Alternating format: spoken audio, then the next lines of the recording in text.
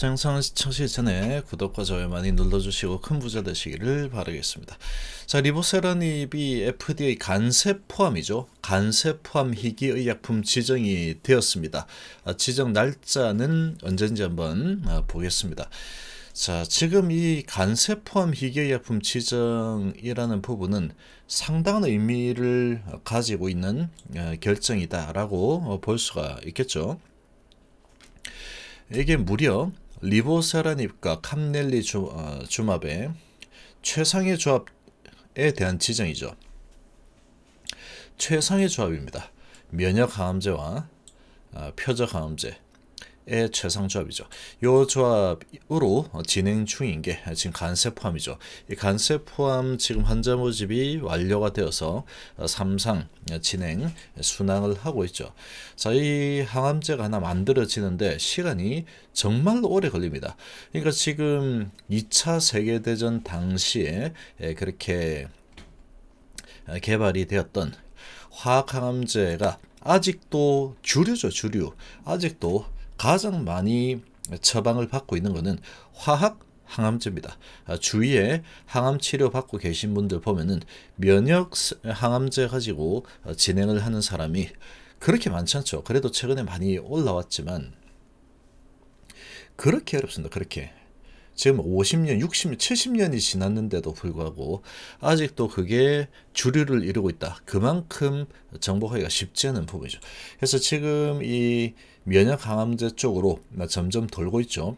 분위기가 바뀌고 있습니다. 바뀌고 있는 상황인데, 자, 그런 상황인데, 이제 그 중에서도 리버 이 캄넬리즘 같은 이런 면역 항암제만으로 하기에는 아, 조금 적응증에서 뭐 한 30% 정도밖에 안 된다 그러죠. 그러니까 10명 중에서 한 3명 정도는 상당히 좋은 효과를 보는데 나머지 7명은 이거 뭐 항암제 진짜 맞긴 맞아. 아무런 효과가 없는데 괜히 잘못 이거 어, 돈만 인력 날, 아, 날리고 잘못한 거 아니야? 그런 생각이 들 정도로 적응이 안 되면은 그 사람의 이 몸에 안 맞으면 어, 또 그만큼 효과를 보지 못하는 그게 이제 면역항암제 특징이죠. 그런 부분에 있어서 어, 이런 이 표적항암제, 리보세라니까 이 캄넬리수맙이 조합을 하게 되면은 그런 부분에서 이제 상당히 이 시너지 효과 크게 일어나죠. 그게 바로 리보캄넬 조합이다. 아, 그런 지금 조합으로 진행하고 있는 게 감세 포함인데 이 감세 포함에 대해서 이기의약품 지정이 되었죠. 지금 주가의 지금 위치에서 이런 소식은 아주 큰 호재다라고 볼 수 있습니다. 근데 이런 좌리보 어, 또잘 나가고 있죠.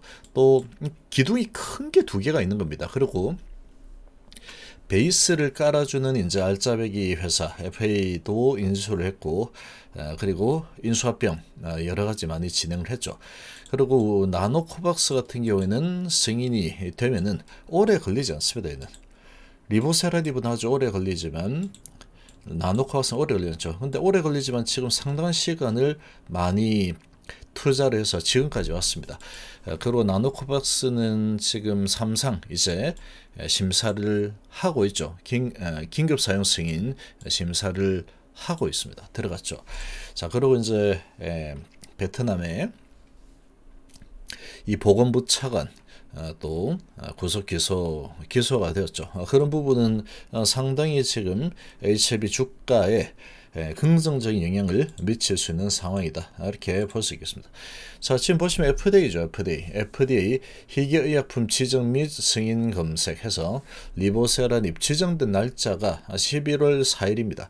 자, 11월 4일 날 지정이 되었는데 어, 지금 지정한 게 간세 포함이죠. 간세 포함. 그리고 희귀 적응증에 대해 FDA 승인을 받지 않으면 이렇게 돼 있는데 이 간세 포함에 대해서 FDA에서 희귀약품으로 지정을 했습니다. 11월 4일이죠. 자, 11월 4일인데 어, 지금 HLB 보시면 모든 여건이 이제 준비가 잘 돼 있죠. 모든 여건이 나 이제 위로 올라갈 거니까 건들지 마. 그런 지금 여건이 잘 어, 세팅이 되어 있는 상황이다. 어, 그렇게 볼 수 있습니다. 지금 너무나 많이 내렸죠. 정말로 많이 밀려 내렸는데 이게 어, 리보세라닙에 대해서 나노코박스에 대해서 어, 기대감으로 쭉 올라갔지만 지금 계속 이제 밀리면서 시간이 점점 왜 자꾸 어, 바로 허가가 나지 않을까 어, 그런 분위기로 끌어내린 겁니다. 끌어내리다가 어, 말 같지도 않은 지금 머크 경구용 치료제 그거하고 백신하고는 아무런 관계가 없죠. 아무런 관계 없어 아무런 관계. 지금 뭐 치료제 나오면은 백신 따위 필요 없다. 그렇다 그러면 아 그렇구나. 나노코박스 이거 아무리 개발해봤자 안 되는구나. 화이자 모더나의 이런 백신도 이제 다 끝이구나. 음 그렇구나 오케이. 에, 그러면 되는 거예요. 그게 맞습니다. 그러면 아 그래서 내려가는구나. 이제 치료제가 나오게 되면은 아, 백신 따위 이제 필요 없어. 쓰레기통에 갖다 다 집어 넣어버리면 돼. 그렇다 그러면 이게 이해가 되지만 그렇지 않죠. 지금 이 백신은 백신이고 치료제는 치료제고 둘 다 역할이 완전히 다르죠. 예방이고 치료입니다. 완전히 다른데 그런 거 가지고 지금 주가가 그러니까 말도 안 되는 상황이죠. 그래서 지금 그런데 이제 시장 분위기가 제약바이오가 그런 오크 치료제 뭐 이런 소식이 나오면서 좀 하락을 하는 그런 모습 보였는데 약간 따라 내려죠. 근데 아무 상관이 없습니다. HIV는. 무려 백신이죠. 아이템이 백신. 백신입니다. 어, 지금 어, 처음으로 약을 개발해서 돈을 벌어 본 게 코로나 백신인 모더나. 모더나가 그 전에 돈을 벌어 본 적이 없는 회사입니다. 근데 그런 백신을 하나 성공시켜서 돈을 엄청나게 많이 써, 쓸어 담고 있죠. 어, 지금도 쓸어 담고 있고 그러니까 거기에 맞춰서 기업 가치가 급증해 가지고 어, 시가총액 200조를 찍은 겁니다. 자 지금 이 HF이 간세 포함에 대해서 희귀의약품으로 지정이 됐죠. 그러면 희귀의약품으로 지정이 되면은 상당히 일의 진척이 점점 더 빠르게 진행이 될 수 있습니다. 희귀한 의약품이니까 당연히 이제 더 빠르게 진행이 되죠. 지정하면 그런 혜택들이 있는 겁니다. 이제 그렇게 진행이 됐다라는 소식이 나고, 근데 지금 주가 위치를 보면은 지금은 나노코박스라는 게 아예 실패를 했구나.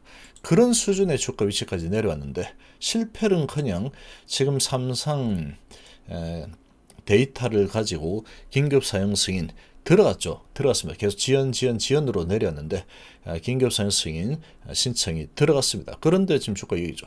아, 그런데 주가가 왜 여기냐? 여기에서 계속 들어갔는데 왜 여기에서 가만히 있지? 의혹이 생기죠. 그렇게 당연히 만들어야 돼요. 들어갔다 그래서 바로 반응해서 올라가 버리면 아 이제 여기가 바닥 맞구나. 그게 이제 불확실성으로 내려왔는데 승인 신청이 되었으니 불확실 해소가 됐으니 다시 정거도로로 올라가구나. 그걸 갖다가 투자자들이 다 눈치채게 주가가 흘러가 버리면 재미가 없죠.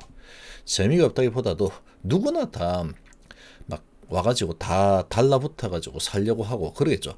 그러면은 아무래도 이제 물량을 매집할 수 있는 그런 부분이 작아지겠죠. 그런 부분이 작아지는 겁니다. 그래서 이제 이런 호재가 나와도 아 이거는 아무것도 아니야. 엄청나게 큰 호재임에도 불구하고 그건 별거 아닌데 그런 식으로 주가가 이렇게 페이크성으로 움직이는 경우들이 아주 많습니다. 얘만 그런 게 아닙니다. 얘만 그런 게. 주식들이 보면 자 위메이드도 한번 보시면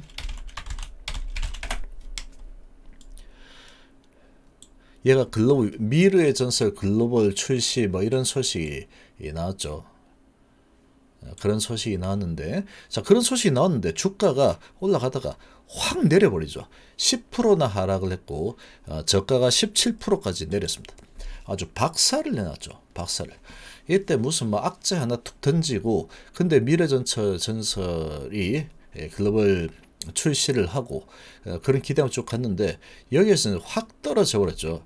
어, 예상보다 약간 벨론 같은데 이런 식으로 이제 예, 분위기를 그렇게 이제 예, fake 쓴 거죠. fake 쓰고 그 다음에 이렇게 올라가 버리죠. 그 다음에 어, 그러고 이제 블록체인하고 같이 연계해서 진행하겠다. 뭐 그런 소식들이 계속 나오면서 코인까지 나왔죠. 위메이드 코인까지. 위메이드 관련 코인까지. 그러고 이렇게 올라가죠. fake 이렇게 쓰는 겁니다. 이게 이제 아 그런 게 나왔지만 아, 지금 이 글로벌 출시했고 동시 접속 접속자도 많구나. 뭐 그런 상황이었는데 이때 이제 무슨 뭐 규제를 하네 마네 이러면서 국내 게임 규제 어쩌고 그런 거 하나 슬쩍 같이 띄우면서 아예 이제 끝이 났어. 그런 식으로 한번 페이크를 확 던져보죠. 그럼 아 끝났구나. 이거 이렇게 많이 쭉쭉 계속 올라가다가 이제 상승 추세가 아 이제 끝이네. 그렇게 이제 페이크 속으로 3만 원이에요 이때가. 그러고 지금 19만 9천 원까지 찍는데 한 달, 두 달? 한 두 달 좀 넘게 걸렸죠. 두 달 좀 넘게 걸렸다. 이렇게 가는 겁니다. 지금 HIB도 비슷하죠. 비슷합니다. 지금 여기에서 어, 주가가 아주 크게 올라갈 만한 그런 소식입니다. 어, 지금 3, 나노코박스 긴급 사용 승인이 지연된다. 그거 가지고 이렇게 내려왔는데 데이터로 봤을 때 왜 지연이 될까 이상한데 라고 했는데 보니까 보건부 차관 이상한 뭐가 있었죠. 그래서 구속되다. 그 소식으로 이제 올라섰는데 막 흔들어대죠. 흔들어대고 아, 그러고 간세 포함 아, 저렇게 이 희귀의품 지정 소식이 나왔죠. 그럼에도 불구하고 아, 흔들어대 버리죠. 4일날 어, 나왔으니까 요날 나왔으니까 요날 이제 이렇게 같이 반대, 반응을 했는데 흔들어 버리는 겁니다. 그러면 여기서 어떻게 되냐? 지금은 계속 배팅주의죠. 단기적으로는 나노코박스가 상당한 기대가 되고 있고, 그리고 중장기적으로는 지금 간세 포함이 FDA 희귀의품 지정까지 됐기 때문에 상당히 지금 기운이 좋습니다. HIV의 기운이. 이 흘러가는 방향 자체가 아주 호재들만 이제 남아있는 가장 큰 호재는 뭐냐? 엄청난 낙폭 과대입니다. 주가 이렇게 내려와 있는 상태에서 저런 호재들이 나왔다. 그럼 당연히 이거는 치고 올라가겠죠. 어, 지금 뭐 예, 화이자 경구요 뭐 이런 거 가지고 시장을 좀 누른다. 그런 걸로 만약 같이 같이 따라 눌려진다 그러면 이거는 페이크성 하락 으로 생각을 하면 어, 되지 않을까 이렇게 예, 좀볼 수 있습니다. 그러고 지금 그뭐 화이자 뭐 이런 거 나오든 말든 뭔 상관입니까 그게 백신인데 아무 상관없다 아무 상관. 그 화이자 그러면 그게 좋다 그래가지고 그 백신 안 맞고 그냥 약만 먹으면 되겠네. 진짜로 그러면 되겠습니까 진짜로? 그럼 그렇게 한번 해보라고 하면 되죠. 그렇게 한번 해봐라. 아, 그럼 되죠. 안 됩니다. 백신은 백신이고 치료제면 치료제죠. 아, 백신은 앞으로 몇 년간 계속 과부족 사태가 아, 진행이 되게 될 겁니다. 아, 지금 HIV 지금 상황이 아주 바닥권에서 아주 강력한 호재 소식들이 연이어서 터졌죠. 그러면 주가가 한 템포 늦게 움직일 가능성도 배제할 수 없다. 그렇게 보시면 됩니다.